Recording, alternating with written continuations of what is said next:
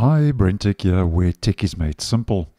So, back in December of last year, I let you know that Microsoft had acknowledged a new audio bug in Windows 11 24H2 where a compatibility safeguard hold had been applied to a limited set of devices that have Dirac audio um, installed.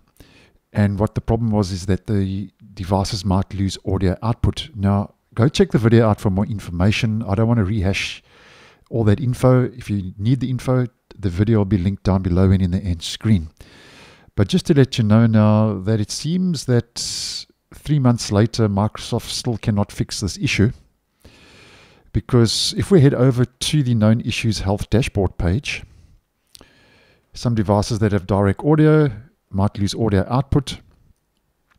We can see that Microsoft updated this post on the 25th of March, which was yesterday. And they have changed the status from mitigated to confirmed. And Microsoft has this to say if we scroll down next steps.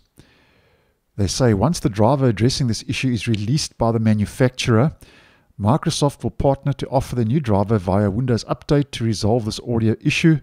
The safeguard hold preventing the update to version 24H2 will be lifted after this issue is resolved on end users' devices.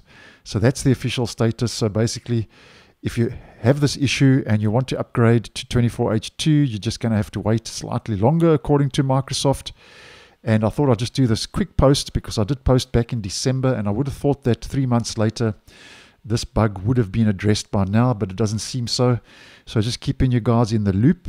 And obviously, when that fix becomes officially available, I'll post and let you guys know. So thanks for watching, and I'll see you in the next one.